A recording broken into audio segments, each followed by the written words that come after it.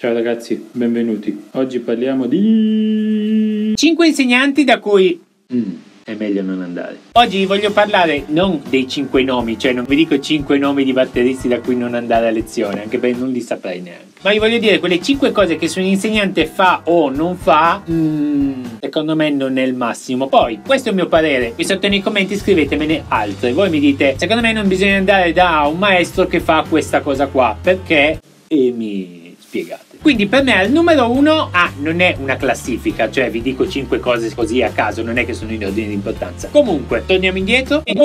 Al numero uno il maestro che dice ma sì, ma va bene, non ti preoccupare, anche se non studi, vieni lo stesso a lezione, non c'è problema. Col cavolo. Primo perché secondo me è sbagliato come insegnamento. Ovviamente dipende che allievo abbiamo davanti. Se abbiamo un bambino di 6-7 anni, ok, questa cosa ci può stare. Ma secondo me dagli 8-9 anni in su e più che altro poi da 14-15 in su, secondo me un bambino deve imparare a suonare la batteria, quindi non va bene che noi gli diciamo ma sì, se non studi vieni lo stesso. Secondo me un maestro deve un po' pretendere dall'allievo se non fa abbastanza. Ma sì, che cavolo me ne frega se fa o non fa, tanto io i soldi li prendo lo stesso. Questo secondo me è una cosa sbagliata. Numero 2. L'insegnante che non insegna mai la tecnica, non fa mai fare esercizi di tecnica. Questo perché è sbagliato secondo me? Non tanto perché bisogna fare gli esercizi di tecnica perché dobbiamo diventare tutti come Billy Cobham. No, ma anche se a una persona non interessa sapere le tecniche andare veloce, ma gli frega solo di poter tenere un 4 quarti e suonare con gli amici. E ci sta la cosa, è giustissimo. Però anche questa persona qua è giusto che sappia un po' di tecnica, perché la tecnica è importante, come vi dico sempre, per non farvi del male. Se voi sapete la tecnica giusta, sapete come suonare nel modo giusto, se tenete le bacchette così e su- suonate così, ci facciamo del male, anche se suoniamo non troppo forte, ma tiriamo i tenni, tiriamo i muscoli, ci facciamo male. Quindi è importante che il nostro maestro ci insegni comunque una parte di tecnica, almeno farci capire come dobbiamo usare il polso, qual è l'impostazione giusta. La tipologia numero 3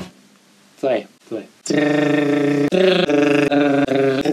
quel batterista che non ci fa mai suonare sulle canzoni. Esistono solo gli esercizi. È giusto fare esercizi, è giustissimo, io sono di quell'idea lì. Soprattutto all'inizio bisogna fare esercizi. Però se facciamo esercizi e basta, soprattutto se siamo all'inizio, qualsiasi sia la nostra età, noi le canzoni vogliamo farle perché suoniamo la batteria? Perché abbiamo sentito quell'album, perché abbiamo sentito quella canzone, perché abbiamo visto quel batterista che suonava con qualcuno. Quindi noi vogliamo suonare sulle canzoni. E se la nostra tecnica ancora non ci permette di suonare la Black Page, chi se ne frega. Suoneremo Smoke on the Water facilitata magari, però quella cosa lì ci darà l'input per continuare a studiare e dire io Smoke on the Water la voglio fare coi sedicesimi. Voglio fare gli stessi feel che fa Ian Pace. Ho preso una canzone a caso, la prima che mi è venuta in mente. Invece se la batteria diventa solamente un esercizio meccanico e un obbligo dire ok devo fare così e poi chissà perché sto facendo un paradiddle, chissà perché sto studiando i doppi colpi velocissimi se poi tanto il massimo che faccio è studiarli sul pad non li ho mai applicati su una canzone. Diventa tutto un po' più difficile e diventa anche un problema avere il piacere di suonare la batteria. Io adesso vi ho detto per i principianti, però in realtà per tutti, perché chi è già bravo a suonare andare da dei maestri che ti dicono suona questa canzone in un modo piuttosto che in un altro. In questa canzone senti che cosa fa il basso, suona il charleston così anziché suonarlo tutto dritto. Accenta quelle parti, cioè ci sono infiniti spunti che la musica ci può dare. L'esercizio è importantissimo, ma suonare sulla musica è indispensabile.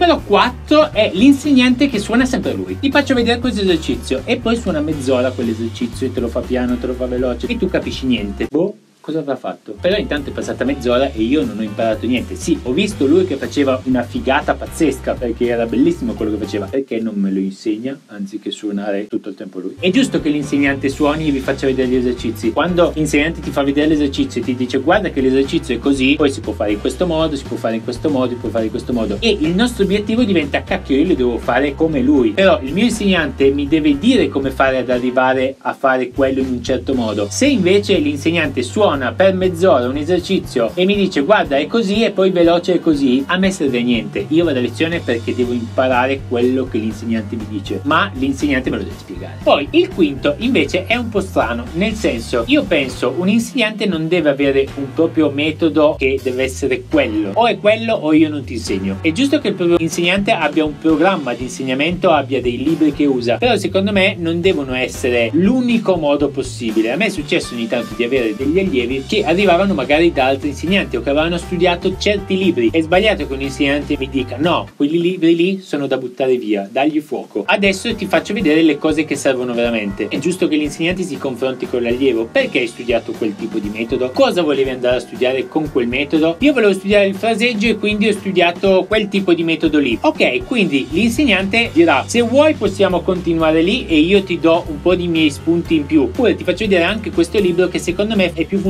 per quello che vuoi fare. Chi impone per forza un certo tipo di studio non va bene, anche perché lo studio comunque cambia da allievo a allievo. Il maestro deve un attimino capire chi ha davanti. Quindi con questo video spero di non aver messo il terrore negli occhi di tutti, ma spero di avervi fatto capire il mio punto di vista e se stavate cercando un maestro almeno avete una lista di cose da dire. Ok, se quel maestro lì fa queste cose non ci vado. Quindi queste erano solo 5 tipologie di maestro da cui non bisogna mai andare, ma ce ne saranno migliaia di tipologie. Quindi se viene in mente, quindi se viene, viene quindi se viene, viene quindi se viene quindi se ve ne viene in mente qualcuna scrivetemelo qui sotto nei commenti. E l'ultimo consiglio che vi do ragazzi è cercatevi un maestro bravo. Ma cosa vuol dire bravo? vuol dire cercatevi un maestro che voglia insegnarvi veramente. Se avete un maestro che vi cazzia magari ha ragione perché se lo studiate è giusto che vi cazzi quindi ho detto cazzi. Quindi cercatevi veramente un maestro che a qualsiasi costo cerchi al meglio di insegnarvi a suonare questo strumento. Io la smetto qui, vi ricordo di iscrivervi al canale se vi è piaciuto questo video, lasciatemi un like qui sotto, commentate mi raccomando, andate sui miei social Instagram e Facebook, noi ci vediamo al prossimo video.